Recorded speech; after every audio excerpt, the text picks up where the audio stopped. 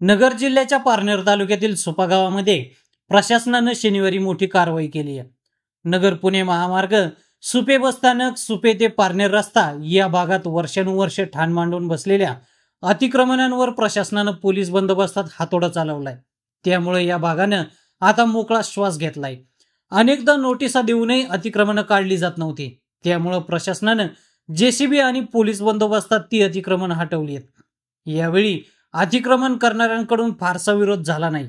मात्र या कारवाईला लोकसभा निवडणुकीच्या पार्श्वभूमीचे झालर देत महाविकास आघाडीचे उमेदवार निलेश लंके यांच्या समर्थकांनी सोशल मीडियाच्या माध्यमातून पालकमंत्री राधाकृष्ण विखे पाटील यांच्यावर जोरदार निशाणा साधलाय. विखे पाटील यांनीच आकसातून ही कारवाई करण्यास भाग पाडल्याची चर्चा जनसामान्यांपासून तर सोशल मीडियावर सुरू आहे. यावर स्वतः लंके किंवा विखे पाटील यांनी मात्र अद्याप काहीही भाष्य केलेलं नाहीये. यावेळी प्रशासनानं कारवाई कशी केली आहे पहा.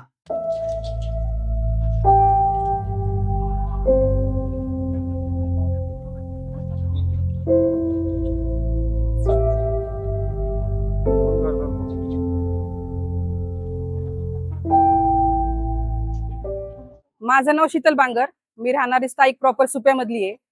हे काहीही कारण नसताना हे आमच्या टपऱ्या उठवण्यात आलेले आहेत. याच्यात याच्यामध्ये फक्त राजकारण वापरलंय. आणि ज्यांचे खरंच हातावरती पोट आहेत त्यांच्या टपऱ्या उठवल्या त्या लोकांनी. आणि हे राजकारण खेळतायत. फक्त फक्त आता जे खासदारकीचं इलेक्शन झालंय त्याचे सगळ्यांनी ह्यांनी आमच्यावरती अत्याचार चालवलेत. आचारसंहितेमुळे यांनी फायदा घेतलाय. पर होईल काहीतरी यांना पण शाप श्राप तर लागणारच आहेत ना गरिबांचे. आम्हाला दोनदा नोटीस दिले पण दर दरवेळेस नोटीस येतं. दरवेळेस हे लोक माघारी जातात. पण आम्ही जरा साहेब लोकांना विचारलं तर साहेब लोकांनी सांगितलं की तुमच्या सुप्यातून तीन तीन चार चार आम्हाला झोपा येऊन देत नाहीयेत की तुमच्या इथून सारखे फोन जात येते की हे टपरे कसं कधी आहे हे दुकान आरशीची बांधकाम काढत नाहीये ज्यांचे मेन मेन दुकाने राहिले ते सगळे तसेच राहिलेले आहेत. बाकीचे सगळे ज्यांना ज्यांचे मेन काढायचे त्यांचे काढले नाहीत फक्त गरिबांचे दुकानं काढले त्या लोकांनी. आमची सोय लावून द्यावी यांनी. असं नाही ना की प्रत्येक जणाला नोकऱ्या मिळतात सर. असं पण नाही ना की प्रत्येक जणालाच नोकरी आहे. काही धंद्यावरती आहेत. काही शिकलेले नाहीयेत, काही अडाणी आहेत. मैं यहाँ हमारी ये धंधा है, टपरी थी यहाँ पे. तो अभी हम सब यहाँ पे कम से कम दो पाँच सौ फैमिली रोड पे आए पूरे. हमारे को बिल्कुल भी कोई रोज़गार की व्यवस्था वगैरह नहीं है. ये सब छोटे से राजकरण, गाँव का राजकरण, ज़िले के राजकरण में ये लोगों को टारगेट किया गया है. और इसमें सिर्फ़ क्या हो रहा कि गरीब लोग मर रहे. बाकी लोगों को जो लोग ये कर रहे जिसका है, इनका बहुत बड़ा खुद का सबका बहुत अतिक्रमण है। फिर भी जो लोगों ने फक्त विरुद्ध दिशा में जाके प्रचार करे, मतदान करे, क्या करे, उसके वजह से ये सब चीजा घट रहे। अभी वो क्या रहता, प्रचार अभी जिसके उसके पक्ष रहते, जिसको उसको जिधर उधर इच्छा देने का लोकशाही के हिसाब से अधिकार है, पर यहाँ पे टार्गेटन एक खुद की सोच बना के कि भाई ये लोगों ने इधर काम करे आणि ये आपले नाही आहेत ऐसा काम किया गया और इसमें ये बहुत सारे लोगों का अतिक्रमण काटा गया यहाँ हम दस बारह साल से व्यवसाय करते, आज भी कम से कम और दस साल सुपे को किंवा पिछे आमचे नेते, आमदार निलेश लंके म्हणले होते, रस्ता वाढला तेव्हा आपल्याला टपरा काढावा लागतात आम्ही सगळे तयार होतो. ज्यावेळेस रस्ता वाढेल त्यावेळेस आम्ही काढून टाकू. पण आज त्याची काहीच गरज नव्हती. अजून बी पाच वर्ष इथं एवढी ट्रॉफिक होत नाही की की प्रॉब्लेम होईल. पण आज या सगळ्या गोरगरिबांच्या पोटावरती पाय देण्यात आलंय.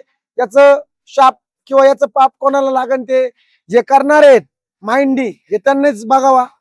प्रत्येकाच्या घरात अंधार आहे शंभर टक्के. त्यांचे परिणाम त्यांना शंभर टक्के भेटतात. पण आता आम्हाला प्रशासनाला एवढंच अपील करायची की आमच्या लोकांची काहीतरी सुविधा करून द्या काहीतरी व्यवस्था करून द्या की लोकांचे घर चालल प्रत्येकाच्या घरात पाच माणसं आहे चार पाच लोक आहेत त्यांनी काय करायचं? ते उद्याच्याला रस्त्यावर भीक मागायला जातात का? इथं जे होते ते गरीबच होते. श्रीमंत असते तर स्वतःचे गाळे घेतले असते. यांचे रोज पोट हातावरतीचे तर याच्यामुळं प्रशासनाने त्यांचा बी विचार करावा. चला तुम्ही काढले ठीक आहे. सरकारी काम आहे. त्याला सगळ्यांनी प्रोत्साहन बी केलंय. पण याचा बी विचार कुठेतरी सरकारने करावा.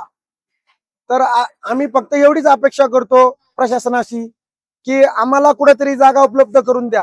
गावाची ग्रामपंचायतची द्या कशी द्या गोरगरिबांनी कुठे जायचं? ग्रामपंचायतचे गाळे आहेत ते बी श्रीमंतांनीच घेतलेले पन्नास पन्नास लाखाला एक एक गाळा हे गरीब पुढून घेणार आहे? ग्रामपंचायत बी टेंडर काढी ती श्रीमंताच्या पोटात जातं. गरिबांनी काय करायचं? तर आम्हाला कुठेतरी या सगळ्या गोरगरिबांना प्रशासनाने कुठेतरी जागा करून द्यावा हे आम्ही विनंती करतो.